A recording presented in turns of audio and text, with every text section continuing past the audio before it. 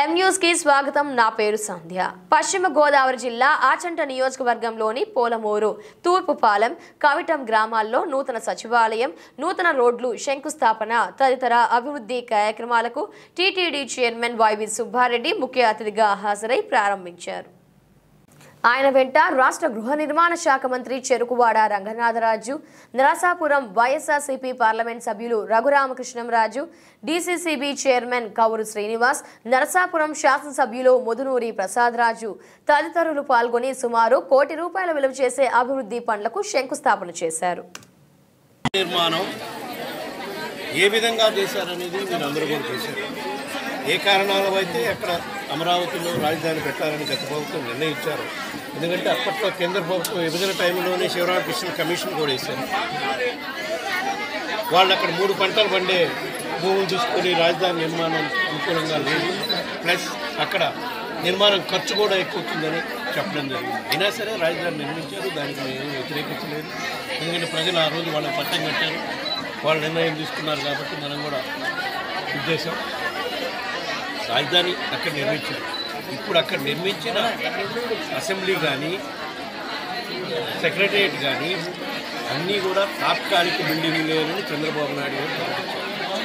అందువల్ల తాత్కాలిక బిల్డింగ్లే కాబట్టి నిజంగా వాళ్ళు చెప్పి అమరావతి నిర్మించాలి అంటే చంద్రబాబు నాయుడు గారు అధికారంలో ఉన్నప్పుడు చెప్పిన ఎస్టిమేట్ ప్రకారమే లక్ష కోట్లు కావాల్సిన అవసరం. ఇప్పటి వరకు ఐదు వేల కోట్లు ఖర్చు పెట్టారు. కనీసం రాజధానికి పోవడానికి రోడ్డు లేదు ఈరోజు కూడా.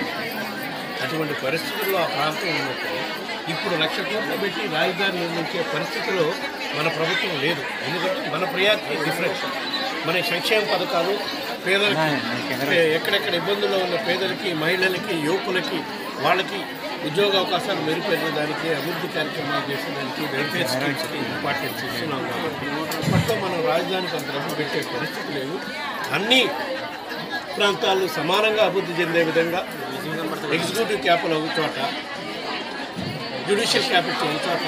ఎట్లా అమరావతిలో రాజధాని చెప్పి బిల్డింగ్లు కట్టారు కాబట్టి అక్కడ జ్యుడిషియల్ క్యాపిటల్గా అది కంటిన్యూ చేద్దామని ముఖ్యమంత్రి గారు చెప్పారు.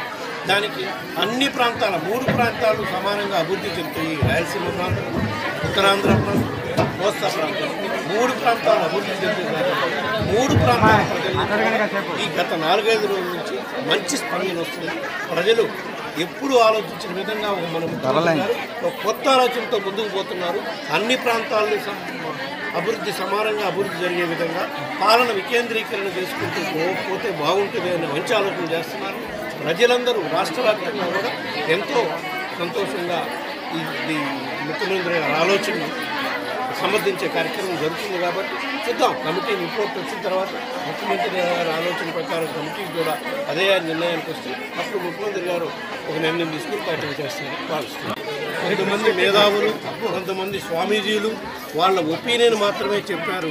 తిరుమల తిరుపతి దేవస్థానం తరఫున మేము పది రోజులు వైకుంఠ ఏకాదశి ద్వార దర్శనాలు తెరిచి ఉంచే కార్యక్రమం ఏం అసలు మా అధికారులు కానీ మాలో కానీ దాని మీద డిస్కషన్ మాత్రమే జరిగింది. ఇంటి పరిస్థితుల్లో పెద్దలు స్వామీజీలు ఆగమశాస్త్ర పండితులు వాళ్ళందరూ చెప్పిన విధంగా ఈ సంవత్సరం రెండు రోజులే ఏకాదశి ద్వాదశి ఆ రెండు రోజులే వైకుంఠ ఏకాదశి ద్వారం తెరిచి భక్తులకి దర్శనం కల్పించే భాగ్యం కల్పించే కార్యక్రమం జరుగుతుంది. మరిన్ని తాజా వార్తా విశేషాల కోసం వెంటనే సబ్స్క్రైబ్ చేయండి. మీ మిత్రులకు షేర్ చేయండి.